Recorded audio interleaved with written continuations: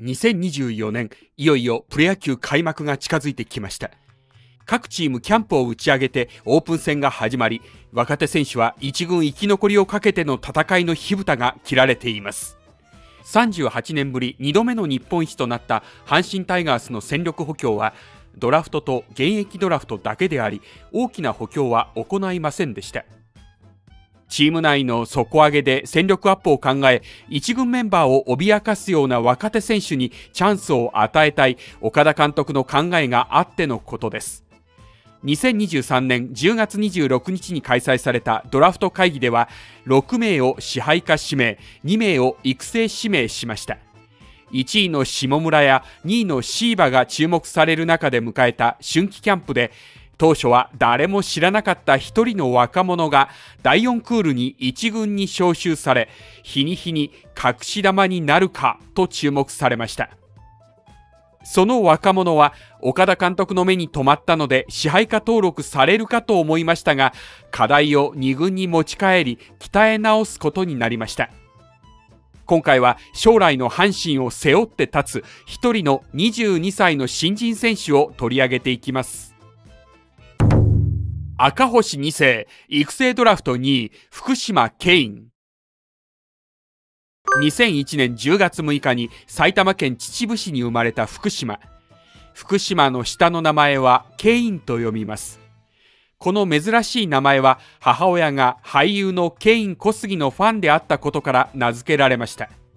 この名前に対して本人はハーフと間違えられることはしょっちゅうです。でも人と被ることのない名前ですし音楽が好きなので音が入っているのも気に入っていますと阪神入団会見の際に話をしていました。秩父市立小田牧小学校3年生から秩父ドリームズで野球を始めています。動くことに関しては野球を始める前の段階から活発であり自宅周辺でウサギなどの野生動物を追いかけ回した幼少期が原点とのことです。野球との出会いは保育園の頃から父であるアキラさんとキャッチボールをして小学2年生でソフトボールを始めたことからでした。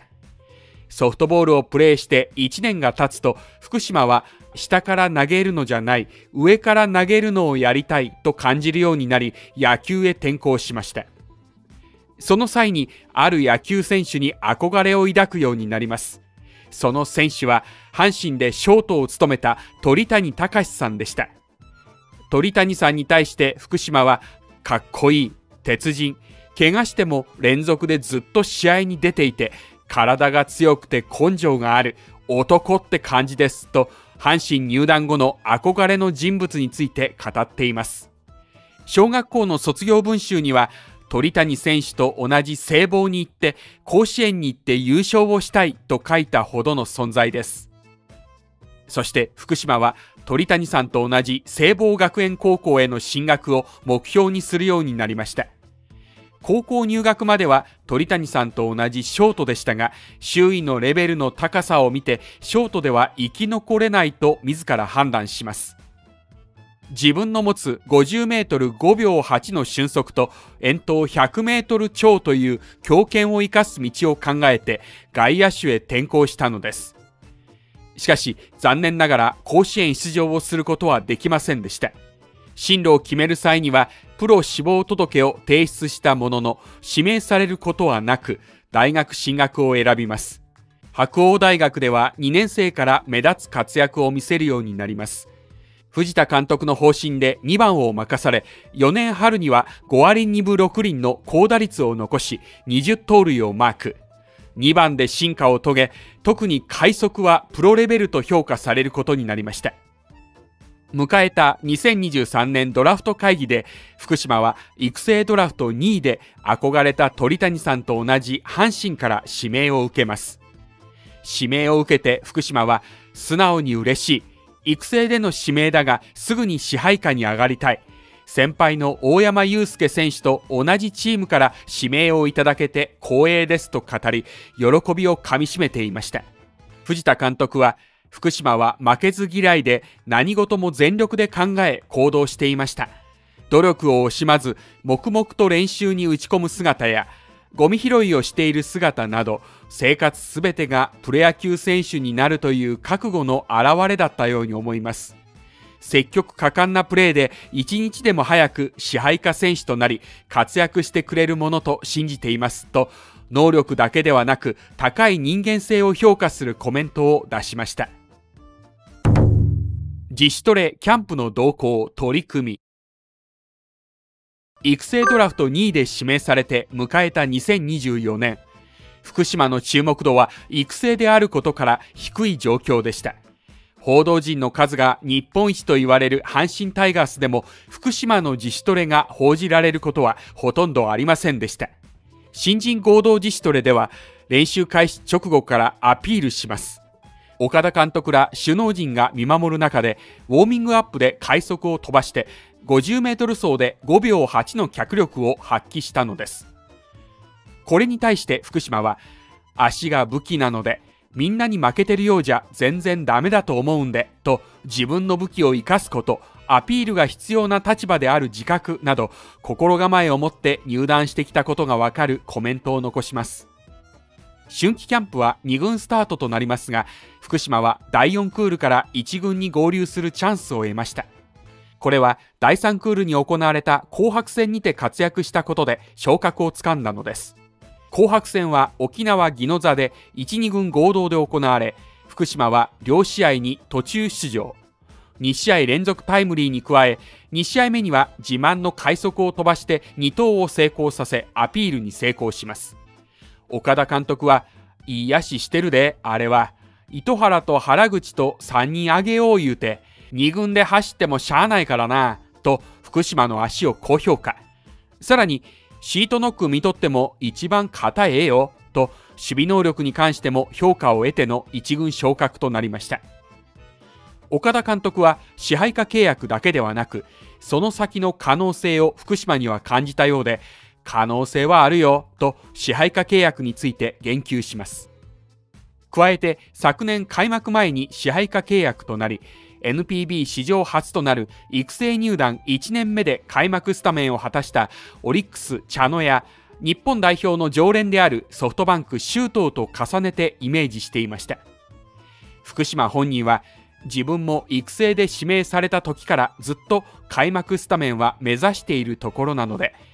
足りないところはいっぱいですけど成長していけるようにとルーキーながら堂々のコメントを残しました。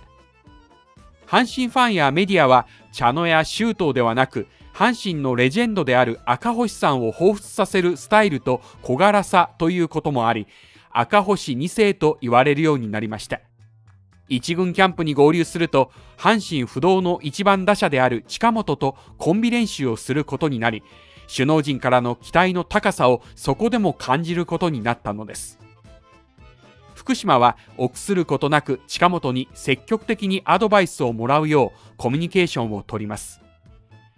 目標とする選手単純にすごいなというのと独特な雰囲気を感じていましたと福島は話しましたが吸収できるものは時間を無駄にせず徹底的に行う姿勢で臨んでいました。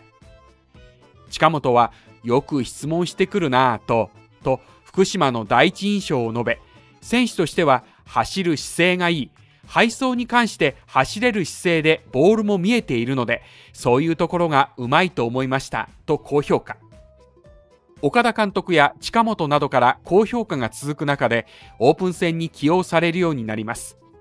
2月23日の巨人戦では代走として出場し盗塁成功。しかし岡田監督の評価は厳しいものでした。代走で出場したのに何球もスタートを切れなかったこと。1球目から走れと言ったのに走らなかったこと。それでは2軍に戻されるよ。何のために代走起用されたのか。その意図をつかまないといけない。期待外れだったと厳しい評価となりました。岡田彰信監督はやっぱりもう一回2軍でやらないといけないと厳しい評価を下し2軍降格となったのです。2軍降格とはなりましたがそれだけ期待が大きかったとも言えます。1軍の壁はそんな簡単なものではないのです。ましてや育成から支配下への契約を勝ち取らなければならない立場である以上アピールは成功させ続けなければなりません。福島には厳しい現実が突きつけられましたが、なぜスタートが切れなかったのか、準備が足りなかったのか、2軍で反省して次につなげることでしょう。福島の育成法・起用法は、福島の場合は総力と守備力に関しては1軍でも通用するレベルにあるでしょう。必要なのは求められるプレーをできるかです。武器である足でのアピール失敗となった盗塁の指示に走れなかったことは大きな痛手となりました。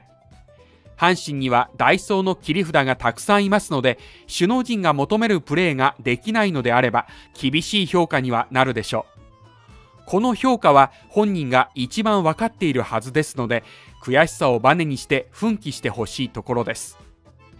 将来的には1軍では熊谷や上田らのようにダイソーや守備固めから起用されることになるでしょう。外野手で直接のライバルとなるのは島田になるはずです。島田の場合はスタメン起用された場合に打撃でも結果を出せるタイプですので壁は非常に高くなります。福島は育成契約ですので他を押しのけるような活躍をして支配下契約になることを第一目標として2024年は過ごすことになるでしょう今シーズン中に熊谷上田たち阪神陸上部の新メンバーになっているかもしれません期待の快速選手福島健について育成法やご意見がありましたらコメントをお願いしますこの動画が面白いと思ったら、いいねボタンとチャンネル登録をよろしくお願いいたします。今日も動画を見てくれてありがとうございました。